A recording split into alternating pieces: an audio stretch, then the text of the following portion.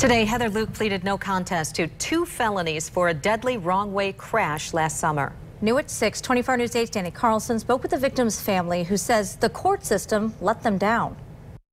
Heather Luke pled no contest to driving while intoxicated, causing William Foster's death and manslaughter with a motor vehicle.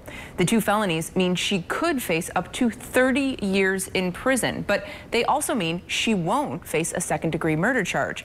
Foster's family tells us they see today and the fact that she has yet to serve one day in jail as just another step in a court process that doesn't guarantee justice for their loved one.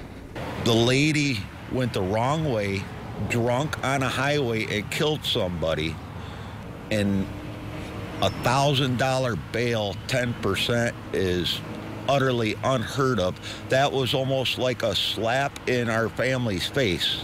William foster's family is angry but even more they say they're hurt. And we came to the conclusion that more than likely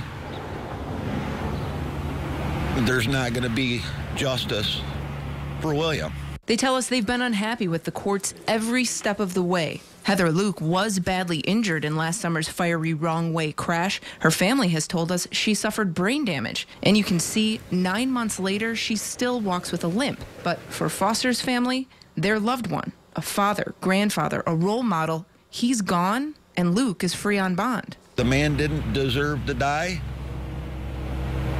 And the lady didn't deserve to walk. She's free to drive another vehicle, free to go to a bar. Maybe do it again. Heather Luke is scheduled to be sentenced June 1st.